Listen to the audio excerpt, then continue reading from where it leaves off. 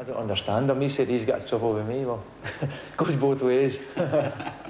he is a bit hard to understand, I would think, in team meetings and the like, isn't he? Um, He's a bit hard to understand.